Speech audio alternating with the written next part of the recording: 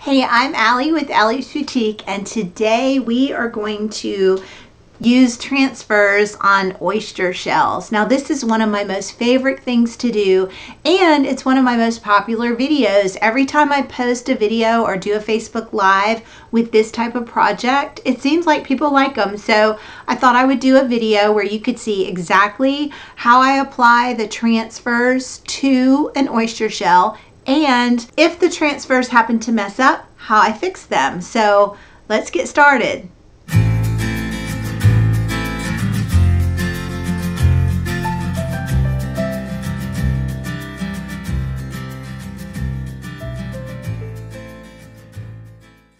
Today I'm going to show you how to put transfers onto an oyster or seashell.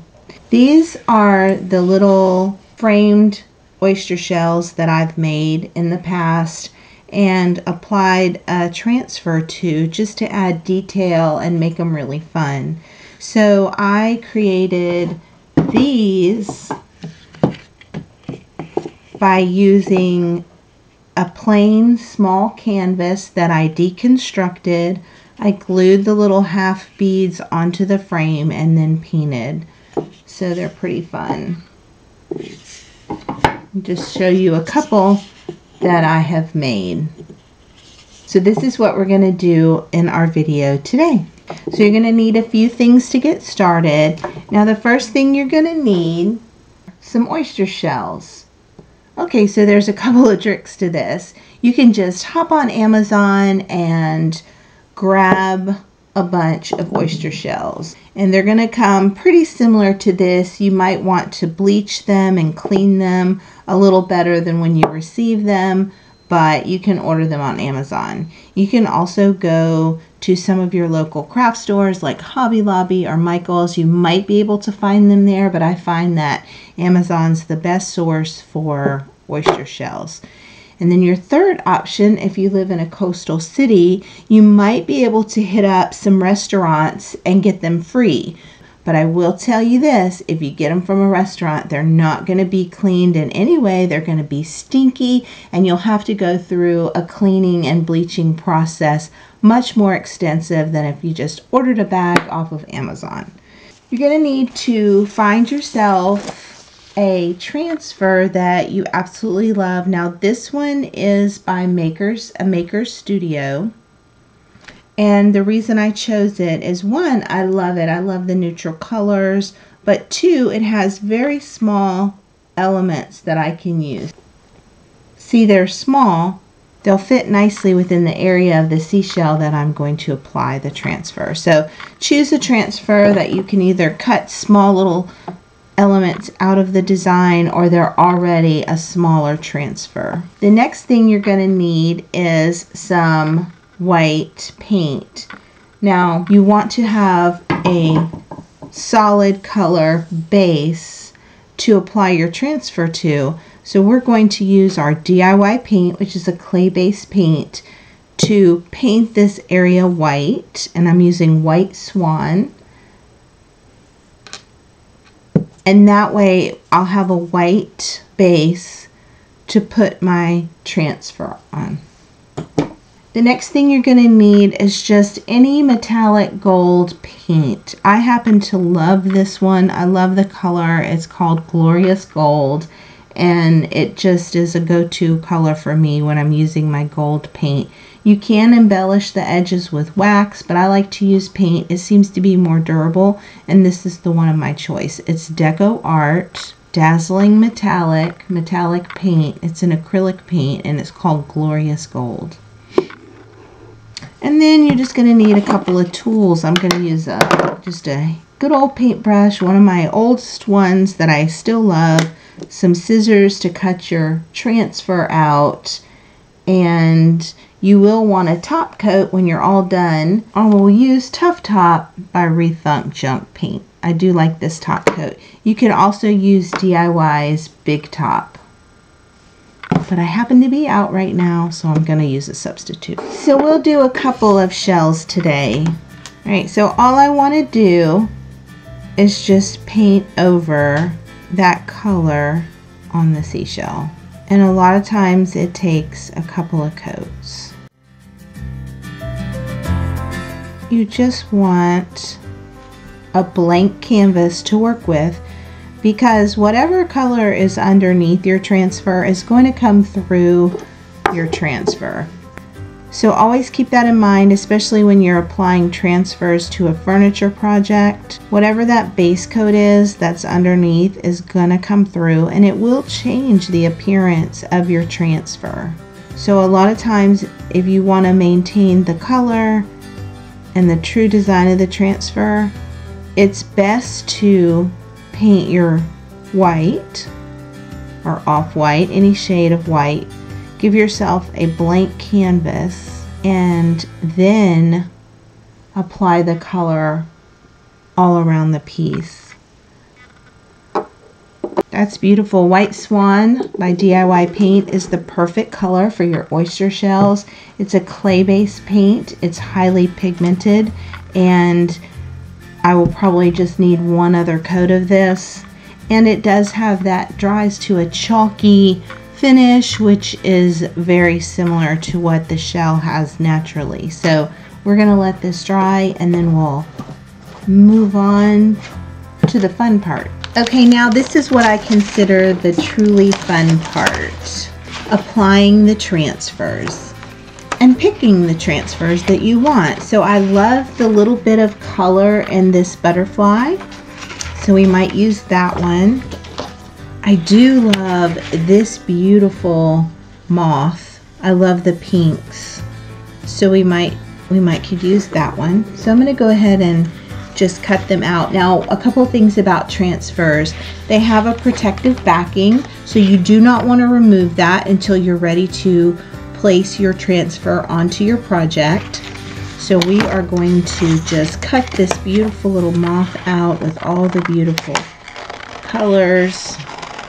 And I'm leaving the protective backing on. And I'm just cutting around it a little bit. So I'm going to cut this one out that I originally liked. And I think we're going to use this script let's do a little bit of layering with our transfers all right so we have a few elements from our transfer pieces that we're going to use on our project and then we're going to use the little plastic or wooden tool that they supply in your transfer packet to rub your transfers on. So now that my paint's dry, I'm going to apply my cute little transfer. I think this one will fit nicely on this shell and this one can fit nicely on this shell. So we're going to layer our I'm going to put these words on the bottom so then my butterfly can fit on top. So I'm going to remove the protective backing. Just find any place that you like the words. Now, and press down. Now, transfers on shells are kind of tricky because shells have a lot of dimension. They are hard to get into the little grooves sometimes with your transfers. But you just kind of got to hold it down and press down. Now this part is not going to be perfect. You just have to accept that it's to look aged and imperfect. And that's what makes it beautiful.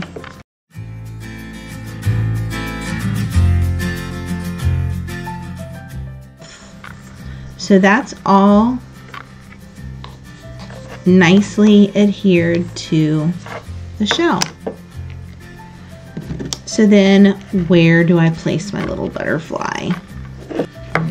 Right in there and I'm gonna angle them just a little bit. I'm gonna remove the protective backing and I'm going to lay my little butterfly right in there now as you rub down, you'll see that your transfer will begin to adhere to your project. It will become kind of a frosty look instead of a clear image and that means your image is sticking to your project.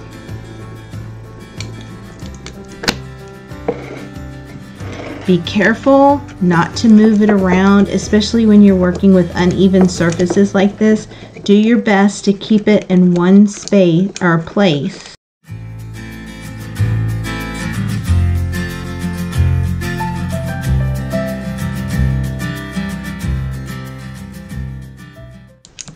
With this type of project, it's okay if some of your image does not completely stick down because it's somewhat of a vintage,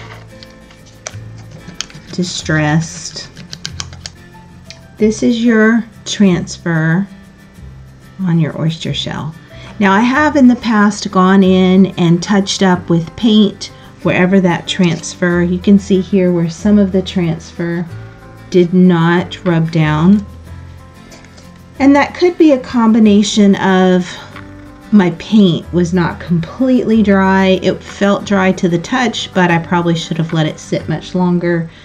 Um, and then the texture of the shell, not allowing it to get down there and get the pressure that it needed. So you can leave that or you can go in and touch up with some paint and I can show you that in just a little bit but I think it turned out very beautiful. And this moth will cover much of the shell. So if I layer anything, I'm going to want to make sure I put it in an area that'll actually peek through and be seen. So I think that I will cut this little portion out, make sure that it's up in this area where the moth isn't necessarily at.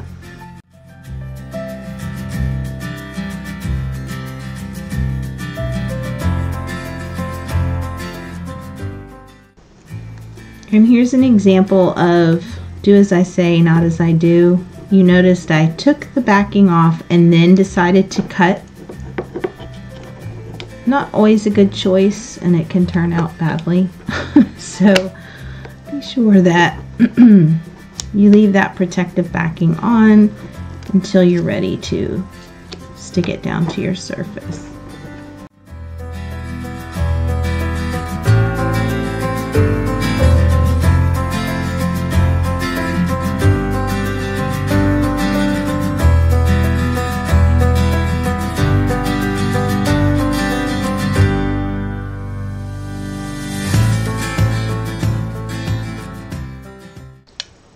And I'm holding it down. I'm not letting it go or slip and slide around because of the texture of this shell.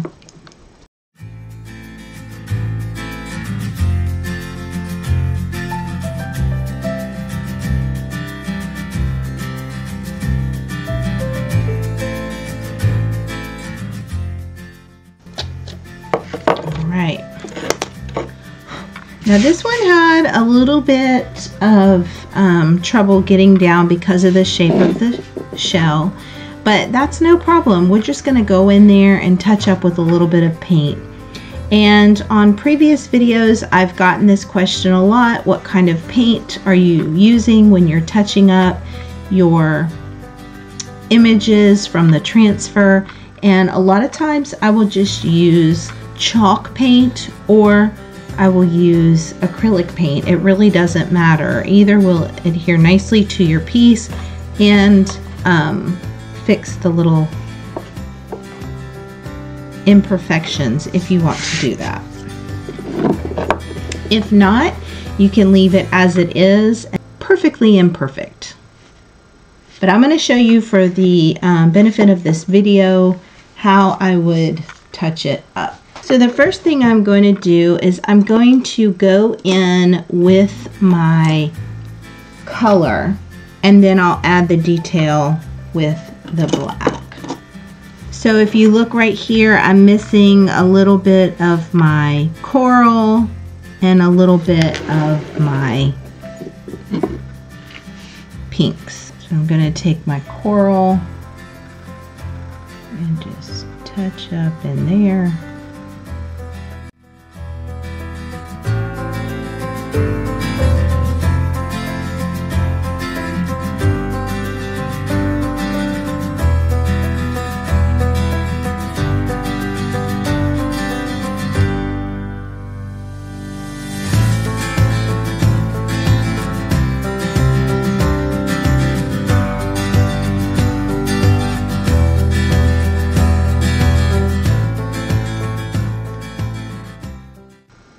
When you do this, it almost gives it that hand painted look.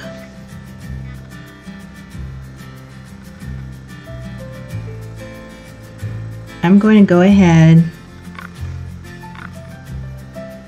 and put that coral even over the black just a little bit because I'm going to go back in and touch up that black. And just so you know, I am using Dixie Belle's Flamingo.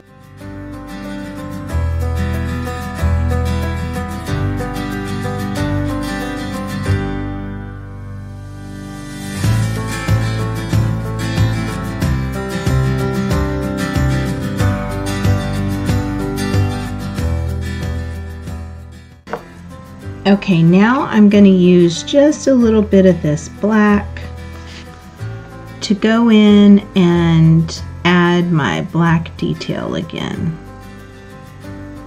And in this case, I'm using Caviar by Dixie Belle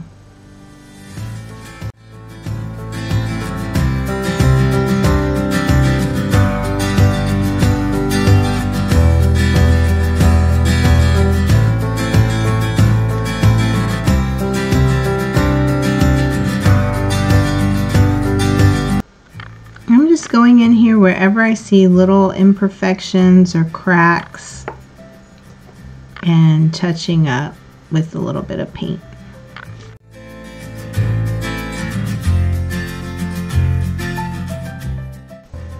So I'm not going to do like a continuous line. I am just going to gently outline and, it, and kind of let it be broken. So you don't want a complete solid outline.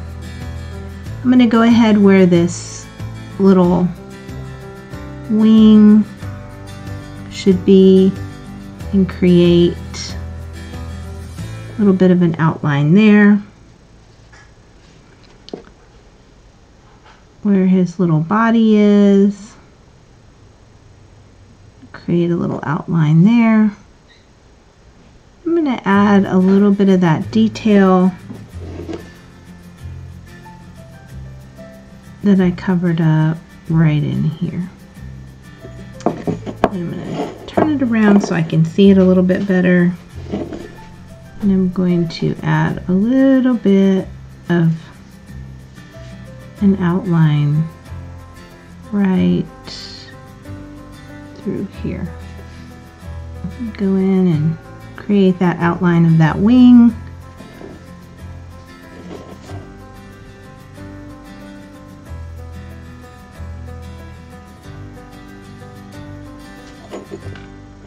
Now I'm pretty happy with how the touch up on my moth turned out, but I'm going to go in with a little bit of gold metallic paint and go around the edges and maybe embellish my moth with just a little touch of gold. So I am going to start by putting a little gold paint out and just in little spots here and there I'm going to put a little gold paint. No real rhyme or reason to it just want to add a little bit of shine to my moth. And you don't have to do this. I just thought it'd be pretty to add just a smidge.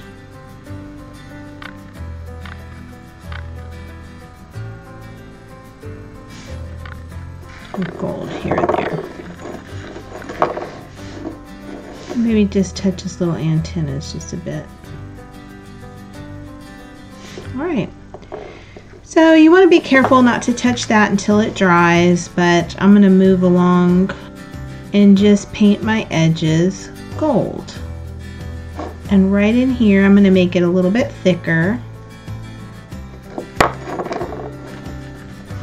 There you go. Now some people choose to paint the entire back side of their shell gold. You can do that. You can just do a little outline all the way around.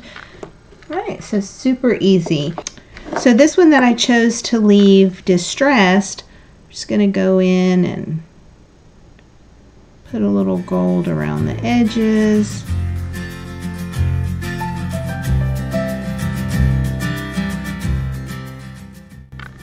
And again, I like to paint this entire area right in here gold, but you don't have to. You can just do an outline if you like. But I usually paint it.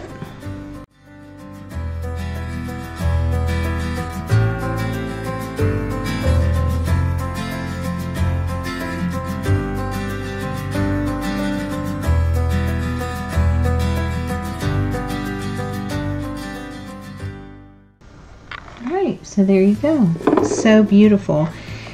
Now these are ready once I put a little top coat on as soon as this gold paint dries to be framed or they even make beautiful little ring dishes.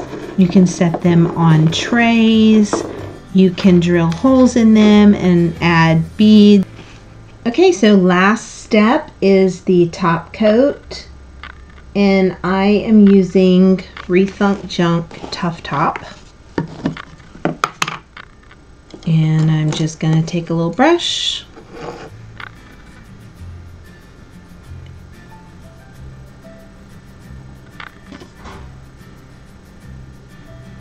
Give it a good coat or two.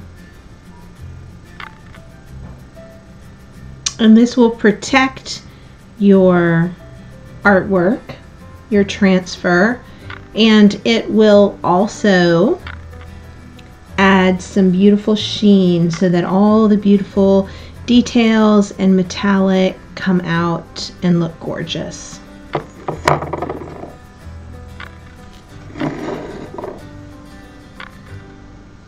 Same thing with this. Just to go over the entire piece with a coat of Tuff Top. And now I'm to let it dry and then my project will be ready to display however I would like.